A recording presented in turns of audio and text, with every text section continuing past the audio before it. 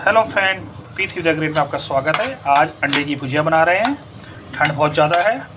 Mutton fish बनाने का time नहीं है क्योंकि ऑफ़िस से लेट आते हैं। और उसको बनाने के लिए टाइम चाहिए होता है। अगर हम उसको जल्दीबाजी में बनाएँ तो स्वाद नहीं होएगी। और अंडे की भुजिया तो जैसी मर्ज़ी बना लो दस पंद्रह मिनट में स्वाद ही होती है। तो ये हमने बना दिया बहुत अच्छे तरीके से। अब इसमें हम हरा धनिया और हरी मिर्च डाल देते हैं।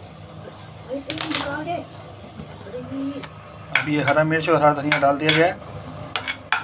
और ये बहुत सही अच्छे तरीके से बनाई जा रही है। और आज गर्मा गर्म रोटी के साथ गर्म गर्म रोटी के साथ इसको खाई जाएगी और अपने बेटे को भी खिलाया जाएगा। बाकी हमारी माता जी के लिए ये साग बन रहा है। उन्हें तो साग ही पसंद है।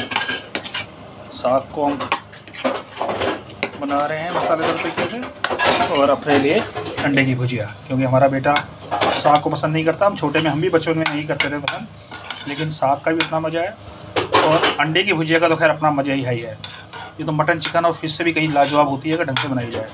अदरक को, प्याज को डाल के, और आज हम इसे खाएँगे। Bye bye. आप भी इंजॉय करें, और ज़िंदगी के मज़े लें।